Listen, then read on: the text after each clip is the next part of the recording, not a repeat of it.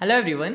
In this video, we will see the GATE exam interface and what all are the different options available to you when you are attempting the exam.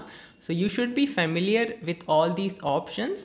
If you have already appeared in the exam, you will be knowing these details. But if you are appearing for the first time, then it will be useful for you to understand these details so that you are comfortable with these details in the exam. To start with, go to the official GATE website to the IIT Kharagpur's GATE page which you would have already seen for downloading the admit card.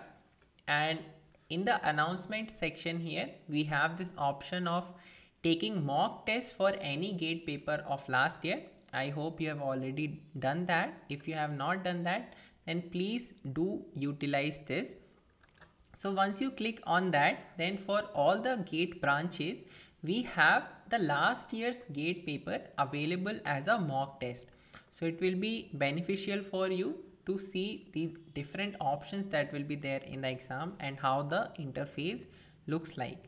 Now from here if we select the civil engineering paper so we come to the login screen in the real exam you will be seeing your name here and the exam which exam you are appearing for. And these login credentials it will be given to you at the exam center. They will tell you the details for that. Now once you click on sign in then we come on this instructions page. So in the exam make sure you read these instructions. You will be given access a little earlier to do that. Now here we have this next option so there are further some more instructions about the number of marks and number of questions which you i think would be knowing by now and once you read all of these instructions you have to click on this option here which says I have read and understood all the instructions. The computer allotted to me is in working condition. So if the computer is not working properly, then you should tell that to the invigilator. And then other details like I'm not in the possession of something and such details. So you should read this properly. And once you do that you click here on this tick and then you can log in. Now once you log in here then we have the exam interface. This is how it looks like.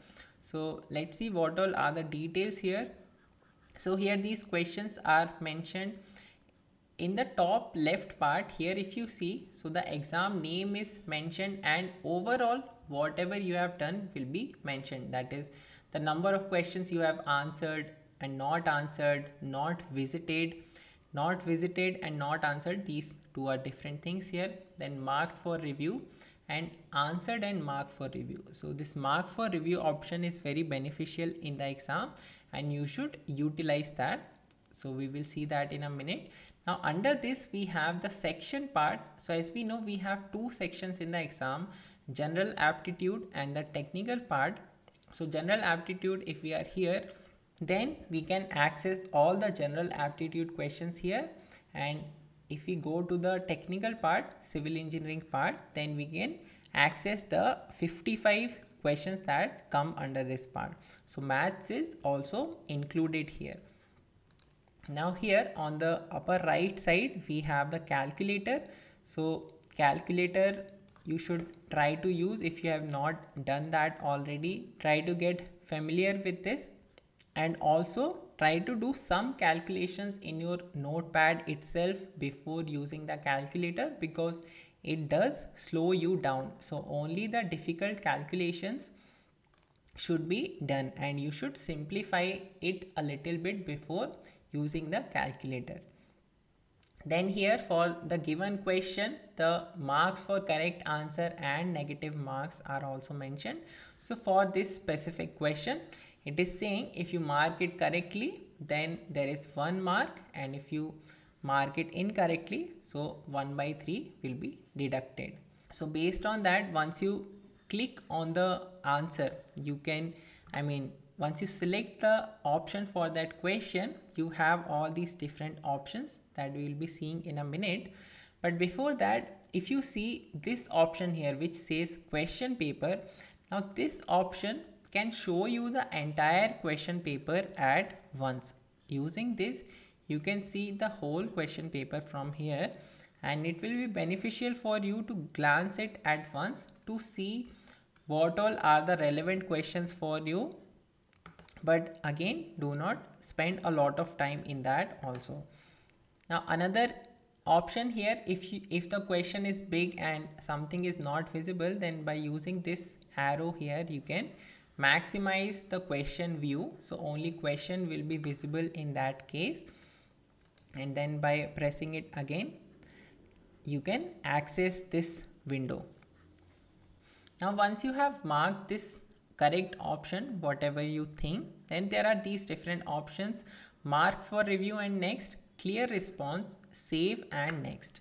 So if we do save and next then the answer i mean it gets registered and this qu question shows in green color so you can see we have green color red color then this gray color and two options in the purple color so green color means that you have answered it and you were sure about that answer also.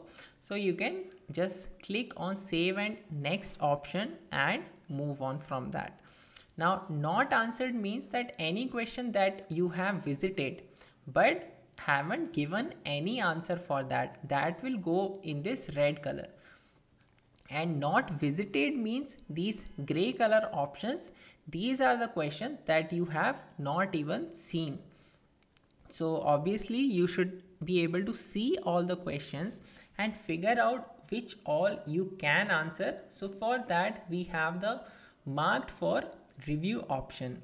Now after reading one question you try to read and try to understand and maybe try to solve also but you think that you will need more time and you don't want to waste more time at this point then you should use the option mark for review and next but do not select any answer here. So once you do that then we have this purple color here which tells that you want to look at this question again and try to solve it. Now instead of that you try to solve a question and you get an answer also but you have some doubt in that question then it is better to mark it at that point and use mark for review and next option. Now you can see the difference here. The question that you have marked for review and the question that you have answered and also marked for review. So we have this green icon here which shows that we have answered this question so like that you have to utilize these options of mark for review. If you should only use this option even if you have not answered the question you should only use it when you think you can answer it. If you see a certain question and you know for sure that you cannot answer it it could be in a case when you don't know some subject then in that case it is better to not mark it for review now, apart from that, if you are taking more than five minutes in any question, then also with if you have not answered it, then it is better to use the mark for review option for that and move on to the next question so that you can look at this question later. Now, if you have answered a certain question and you want to change the answer, then or you want to remove your answer, so for that for changing the answer, you can just click on the other answer. But if you want to remove it, then you can click on that same option again.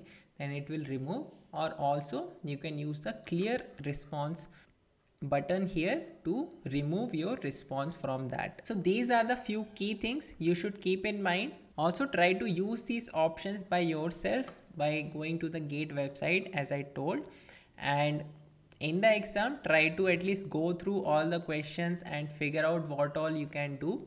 It is better to mark questions for review and check them later. There might be some question in the later part of the paper that might be easy for you and you don't want to miss on that. So initially do not waste too much time on any question and use the mark for review option to visit it later.